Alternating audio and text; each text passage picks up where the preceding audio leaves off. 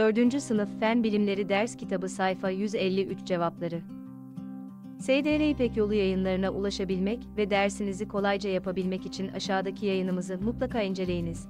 4. Sınıf Fen Bilimleri SDR İpek Yolu Yayıncılık Ders Kitabı Cevapları Sayfa 153 Işık kirliliğini öğrenelim.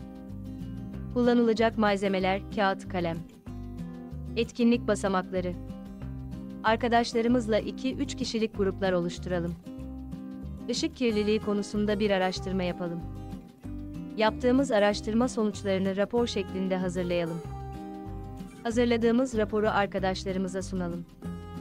Araştırma sonuçlarımızdan yararlanarak ışık kirliliğinin olumsuz etkilerini defterimize listeleyelim. Sorular ışık kirliliğinin ne olduğunu açıklayalım.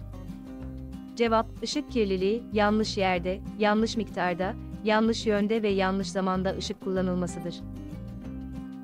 Işık kirliliğinin nedenlerinin ne olabileceğini arkadaşlarımızla tartışalım.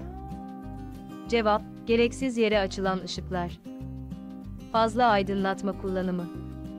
Işık kirliliğinin kuşları nasıl etkileyebileceğini arkadaşlarımızla tartışalım.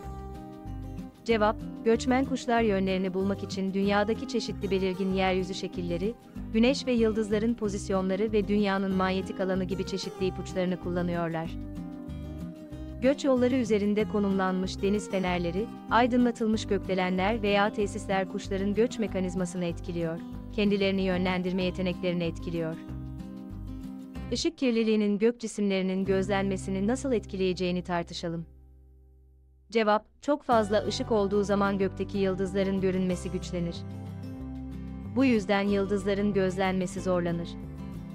4. Sınıf SDR İpek Yolu Yayıncılık Fen Bilimleri Ders Kitabı Sayfa 153 Cevabı ile ilgili aşağıda bulunan emojileri kullanarak duygularınızı belirtebilir, aynı zamanda sosyal medyada paylaşarak bizlere katkıda bulunabilirsiniz.